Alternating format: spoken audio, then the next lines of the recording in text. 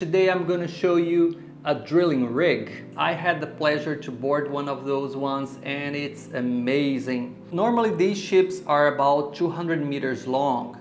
Uh, that equals approximately 600 feet. It's a lot. It's a very large boat, roughly 50 meters wide and the people on board for this ship accounts between uh, oscillates between 80 people to 160 people, depending on the operation it's performing. You can imagine on the ship house, you not only have all the command system of the ship, there's also the dormitories where people sleep, the, rooms. So to have 160 people uh, taking turns working on this ship, you have to have a lot of rooms, a whole hotel uh, staff service and yeah. So these ships are huge they're very complex and they perform very complex operations as well.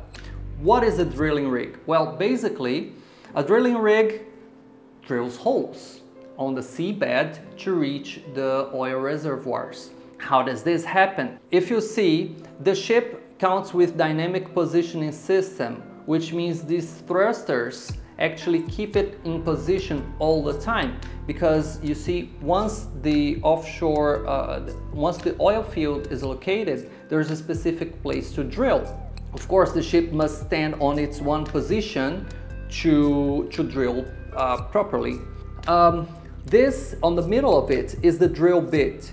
Of course you see the drill bit uh, is merely standing next to the ship at this moment but what happens is little by little, these drill pipes are connected to on this tower. This is the drilling tower.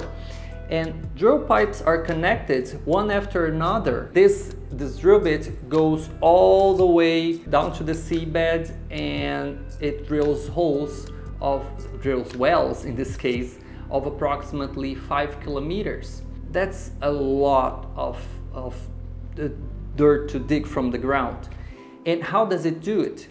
Well, uh, the ship receives constantly drill pipes and a whole, uh, these drill pipes are connected on this tower using a series of equipments uh, of claws that hold the, that, that grip the, the entire structure and add new components to it until it reaches the seabed level. It uses cranes, just like this one, I, I use very simple cranes to illustrate what this is and these cranes move the, the, the, pipes from one place to another, from one laydown area to another on the ship.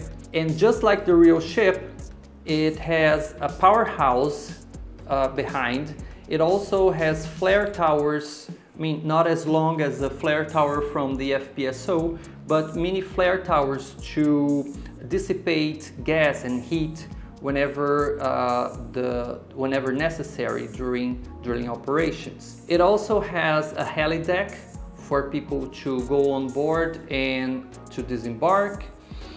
And last but not least, it counts with two rescue boats in case of emergency, in case the ship must be abandoned. Uh, people have a chance to save their lives. This last case scenario is rare, but uh, it may happen although safety is a number one uh, concern when building and operating these machines. So that's it. I hope you enjoyed this video. I hope you, for those of you who work in the oil and gas industry, uh, write down your comments. Let me know what your experience is as you go to work and you board one of these wonderful machines. Uh, if you have visited as I did, also let me know about your experience. And yeah, I hope you enjoyed it. Remember to subscribe to the channel and also thumbs up to the video. See you next time. Bye bye.